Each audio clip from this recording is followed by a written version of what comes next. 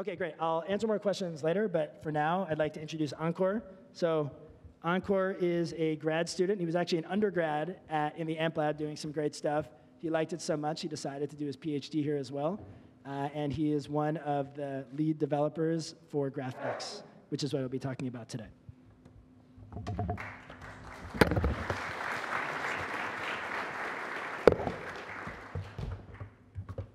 All right, thanks, Amit. Um, uh, hey, everyone. I'm, I'm Ankur. I'm, uh, uh, as Amit said, I'm a second-year grad student in the AMP lab. Uh, and I'll be, I'll be, telling you about GraphX, uh, which is a library for graph computation on Spark. So uh, before you, you, you, hear me talk, um, it, it, might seem like, it might seem to you that graph processing is a pretty specialized topic. Um, but actually, graphs are surprisingly common. Um, and many kinds of data can actually be viewed as graphs, even if they aren't stored that way. Um, so I'm going to talk about three common examples of graphs um, uh, social networks, the web, and ratings graphs. All right, first of all, um, social networks are an easy example of graphs. Um, users are, are, vertices, and social relationships, things like friendship and following, are edges. Um, but social networks actually aren't limited to just the, the relationship graph. Um, posts and photos can also be vertices in the same graph. And even actions, things like liking, uh, can, be, can also be part of the graph. And in fact, Facebook explicitly stores all of this kind of data uh, as one big graph in a, in a store called TAO. All right, the second example, uh, the, the, web is certainly a graph. Uh, pages connect to each other using hyperlinks. And as we'll see, thinking about the web in this way was, was a, big, a big competitive advantage for Google in its early days.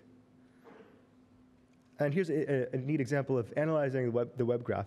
Um, so the, these researchers in 2005 um, classified some political blogs by party affiliation and then visualized the, the, the, the, resulting graph and colored each of the vertices. And so you can see um, there's, there's a strong clustering effect where uh, political blogs apparently tend to link uh, really strongly preferen preferentially to people who share their political views, and it's rare for like a Democratic blog to link to Republicans. So that's neat. Um, and, and, and, the last example of, of graphs that, that, I'll give you is a less obvious one, um, where users rate, rate products on sites like Amazon or Netflix, uh, and you can view that as a bipartite graph that has users and products as the vertices, and that has ratings between them as the edges. And uh, Amit mentioned this, so you, are sort of familiar with, with, it, but viewing it, viewing it as a graph is a neat trick. And we'll, we'll see how sites uh, uh generate recommendations using ALS, as Amit was mentioning, using this graph. All right, so now that we've seen what kinds of graphs are out there, um, let's look at what you can do with them. Uh, I'm, I'm going to talk about three algorithms, one for each kind of graph that, uh, that you've seen. Um, so the first one is PageRank. Um, this finds the most important pages using links as a vote of importance. Um, and a vote sort of counts for more if it's, if it's coming from an important page. So for example, if the New York Times links to your blog, then since the New York Times is, is a priori an important page, you must also have something important on your blog. So um, the, the idea of it is, is to repeatedly send votes along links and, uh, and then increase the rank of, of the pages that get them more votes, get more votes. So, uh, so here, for example, the, the, the, pages that they got two or three votes are, uh, you know, are, are, bigger in, the, in that visualization. So, uh, so as I was saying, Google um, started out by, by using this to, to rank search results. And at the time, it was much more effective than the competition. And so that was, uh, the, the, so graphs, in a sense, were Google's big competitive advantage. All right, the second algorithm uh, is triangle counting. So what this does is it measures the cohesiveness of communities. Um, so, so here, for example, in this graph, there are three uh, social triangles that are formed. Actually, there uh, are perhaps more, but there's three you can see. So, um, and the person in the in the center is uh, is part of the, all three triangles, which means that his friends sort of tend to know each other, and as a result, you can see this is sort of a strong community. Okay, the third algorithm um, is collaborative filtering, uh, and what this does is it aims to infer what kinds of users will like what kinds of products and then make recommendations on the basis of those inferences. Um, now, um, Amit mentioned this algorithm, but he didn't tell you that you can see it as a, as a graph algorithm. So here, for example, uh, we, we can sort of, it, will infer that uh, the top user, for example, is interested in computers, which I have used a Gare to represent that. Um, the middle user is interested in music, and the, the bottom user is interested in like art or photography. Uh, and then, and then also it can infer something like the headphones in, uh, appeal to people who are both, who are either interested in music or in art. So, um, and these sets of interests are expressed using a general concept in machine learning called features. Now, it turns out that, that all, all these kinds of algorithms can actually be expressed using uh, the same pattern of computation. And that pattern is the following. To calculate the value for a particular vertex, so something like a PageRank or the number of triangles passing through it or some kind of feature, um, these algorithms only need to access the neighboring vertices and edges of that vertex. Now, they may, need to, they, may need to iterate this multiple times to actually get a good result, but each time, each iteration, only the neighborhood of a vertex gets accessed. And what that means is that these algorithms can be expressed as independent operations on each vertex and its neighbors. And that's what allows these algorithms to run in parallel and scale to large graphs. Now, in addition to, to those three algorithms that are, that are captured, um, this pattern of parallelism actually also captures a variety of other algorithms from uh, areas like machine learning, data, mi data mining, and graph analysis. Okay, but so far I've just talked about graphs and graph algorithms, but real graph analysis actually involves more than just running graph algorithms.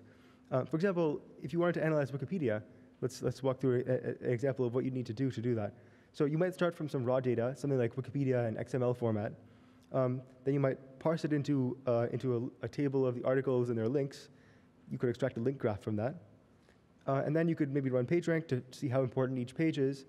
And uh, finally, you could maybe get a list of the top 20 articles.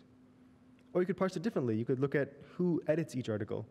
Um, then you could make, you could, uh, so that gives you a table of edits, which is like the editor corresponding to the article they edited. And then you could, from that, make a graph of who is editing the same articles.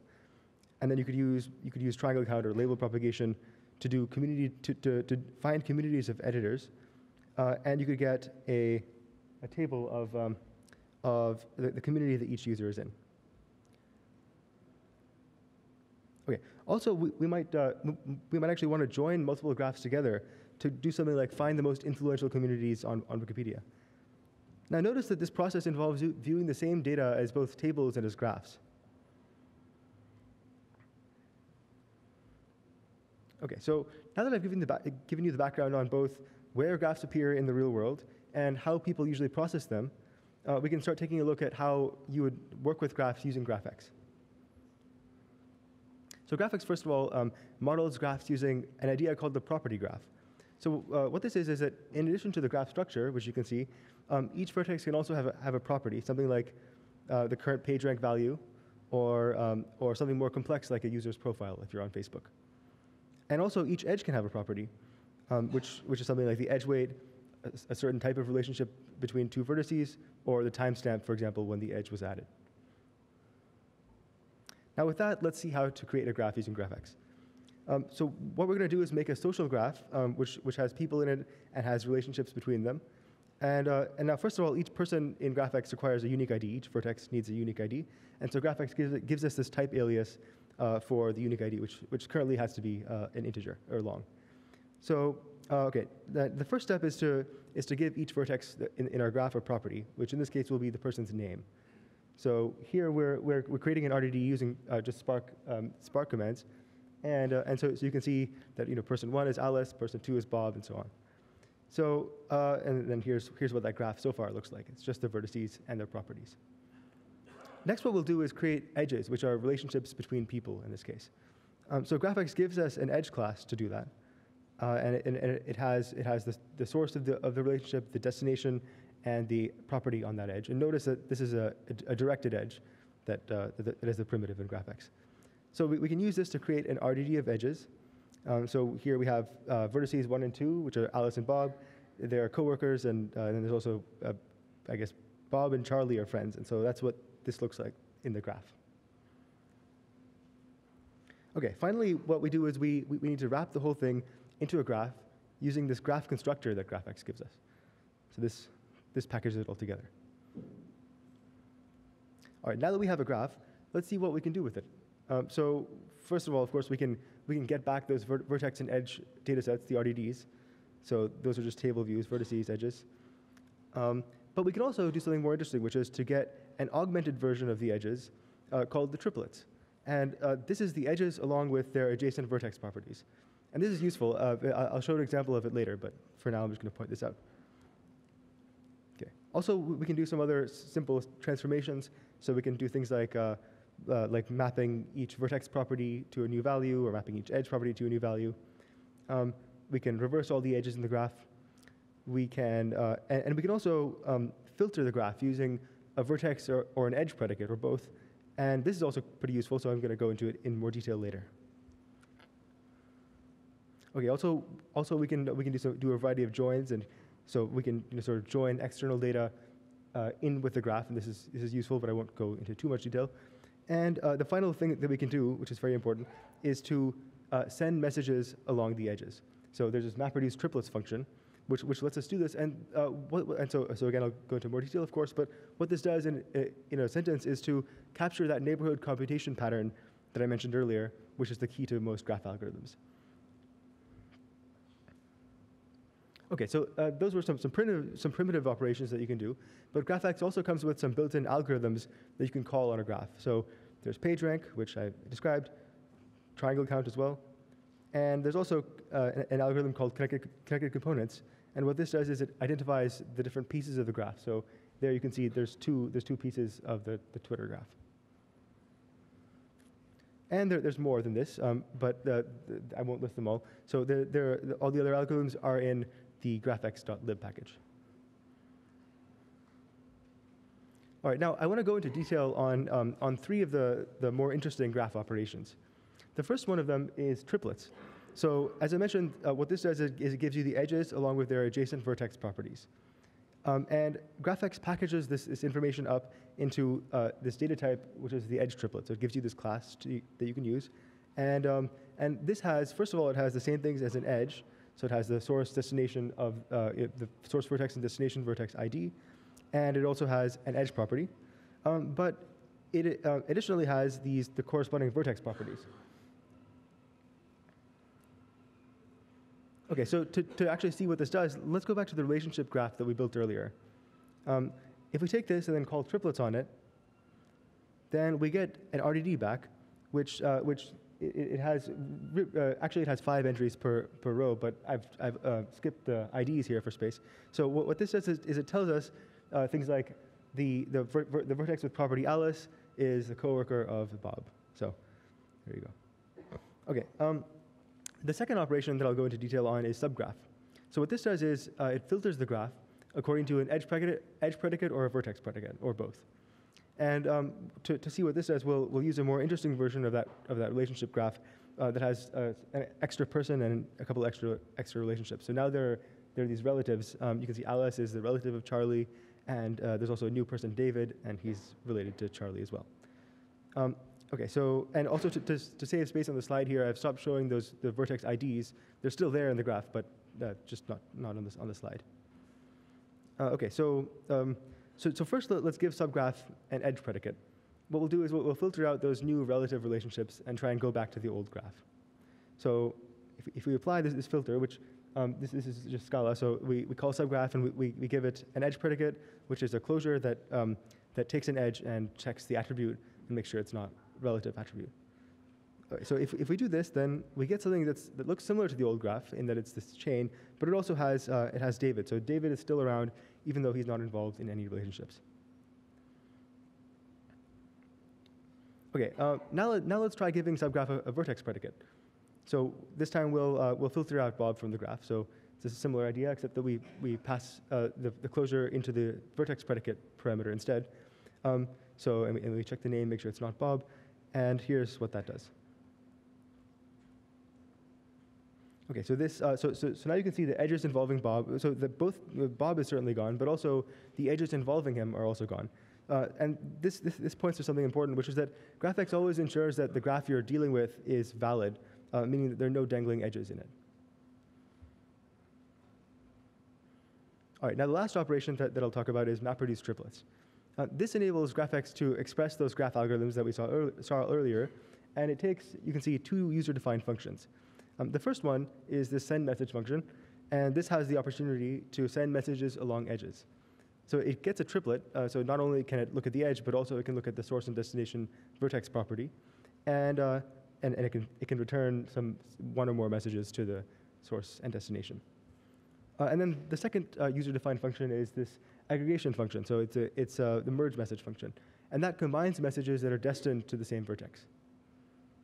Uh, and then what this overall does is that it, it re- returns an RDD that, uh, that contains a combined message for every vertex that received a message.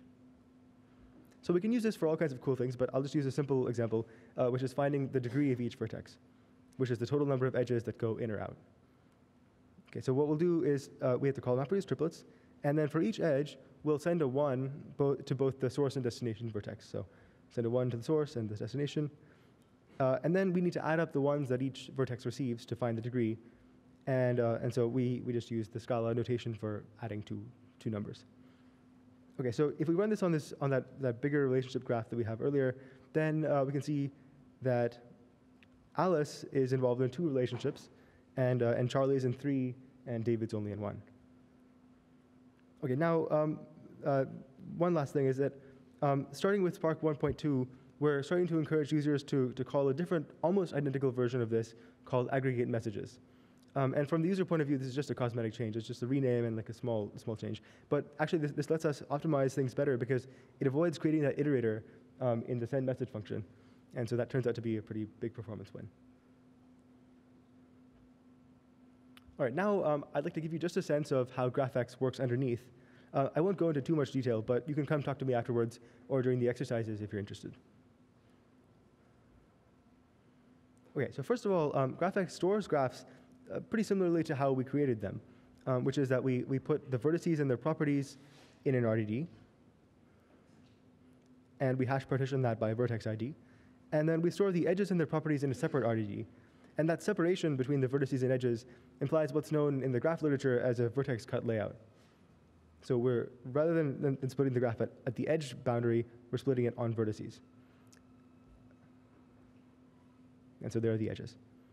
Uh, okay, so now uh, that's great, but to, to implement many of the graph operations that I described earlier, we actually need to bring those RDDs together. Otherwise, it would be a trivial problem. So to, to get the, the triplets, for example, each edge needs the adjacent vertex properties. So for example, um, the edge AB needs both uh, the vertex property for A and for B. Um, so to, uh, to know which, which edge partitions that we should send each vertex property to, we're, we're going to do this using a third RDD, which GraphX calls the, the routing table. And this tells us that we should send, for example, A to both partitions, um, because it's referenced, it, it, it, has edges adjacent on both, but uh, only send B to partition 1, since there are no, uh, there's no uh, edges with B in, the, in partition 2. So an important benefit of this is that uh, it gives us the freedom to choose the best edge partitioning strategy um, that, that minimizes communication. In fact, uh, GraphX, by default, if you, if you give it a set of edges, it will just use the, the partitioning scheme of the RDD that you've, you've passed in. So there's no, there's no edge movement step um, in, involved in creating a graph, which is, which is important because the edges can be often much larger than the vertices.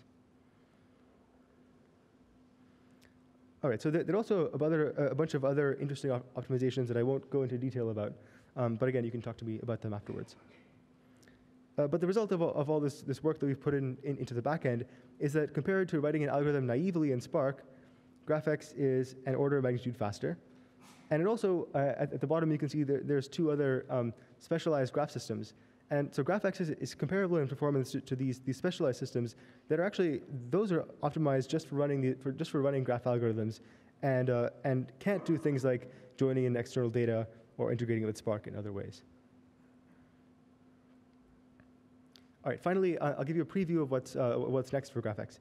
So first of all, there, there's some language support uh, that's, that's coming soon. So the Java API is, is almost ready. Just, it pretty much just requires a review. There's a pull request that you can look at, in fact.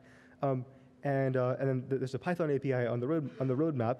Um, and there's a Jira that tracks, uh, we're actually collaborating with some uh, external companies who are interested in, in doing that. Okay, also, um, th th there's more algorithms coming. So uh, there's LDA, which is a topic modeling algorithm. Uh, this, is, this is actually uh, going to go into, into MLlib. But in fact, in the backend, it's going to use GraphX because, as I, as I mentioned, you can see a lot of these, these problems as graph algorithms, and it can be it can make your algorithm faster to express them in that way. Oh, and, and uh, also there's this correlation clustering, which you'll hear about, I think, uh, I think later today. Um, and you know, your, your contributions, of course, are welcome for, for new algorithms as well. Finally, there, there's some speculative uh, things that we're looking at. So one of them is um, support for, for time varying graphs. And um, so uh, the, the, the idea here is that graphs are in, in real, in, in reality changing underneath, and um, we, want, we want some way to, to update that um, in Spark quickly. But uh, of course, the, there's sort of a problem, which is that, that Spark itself isn't really suited for, um, for updating data sets incrementally. And so th- there's some research that involves, uh, that, that's going on to do that. And secondly, um, uh, we're, uh, we're, we're, we're looking at supporting graph database-like queries. So graph databases like, uh, like, um, like Titan and Neo4j, uh, they, they support um, these subgraph pattern queries where, where, where, you can express like, okay, I'm looking for you know, a triangle or I'm looking for um, a loop of, of, four elements. And uh, these databases are actually indexed in, in a way that makes those kinds of queries fast. Um, and so we're interested in maybe seeing how, how GraphX can, introduce, can incorporate both that kind of indexing while also retaining performance for the general uh, analytical style algorithms.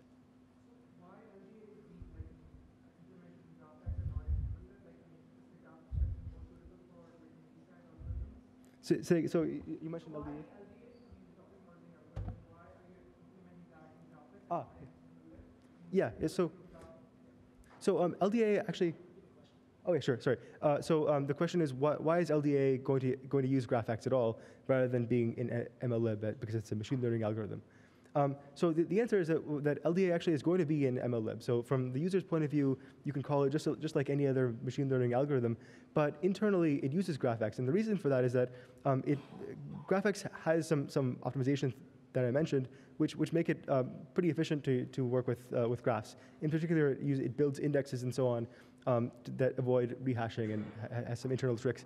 And so the point is that if, if your algorithm um, can be expressed as a graph algorithm, then it often makes it faster to actually use GraphX.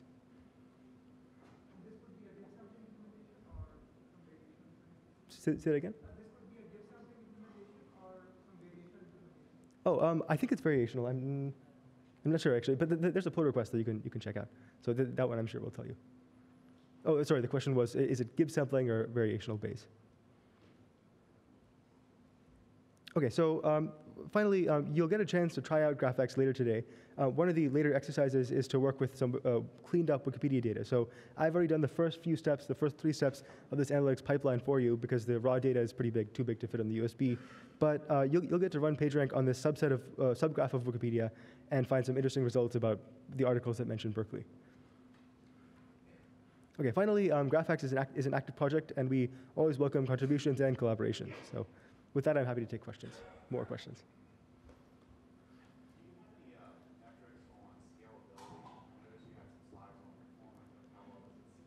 Yeah, so we, we do actually, I, I, didn't include the backup slides this time, but we, we do have the numbers for that. And in fact, GraphX, we, we've measured that it scales, it's, so we, we compared against other competing graph systems.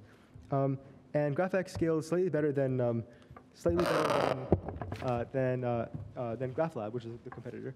Um, I this Is it on?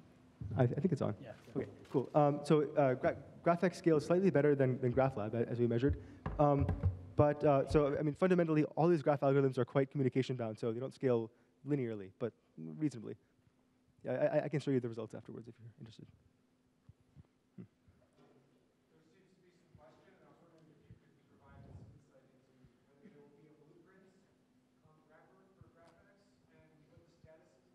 Ah, yeah. So there, there's a there's a discussion on the, on the mailing list, as I'm sure you're familiar. Oh, the, the question is um, uh, about the, the, the, status of, of, a wrapper that involves blueprints for GraphX. So there, there are some other um, some other interfaces um, that people want to use to express graph queries, and the question is whether uh, how far that is out, I guess. So. Um, uh, so, um, so the, the, the, the, answer to that is, well, this is an effort that's, that's mainly driven by the community, in fact. So we're, you know, at, at the AMP Lab, letting other people take, take the lead on that. So the mailing list is actually the best place uh, you know, to, to find out. I wouldn't know. Okay, one more question, if there's any. Okay, thanks.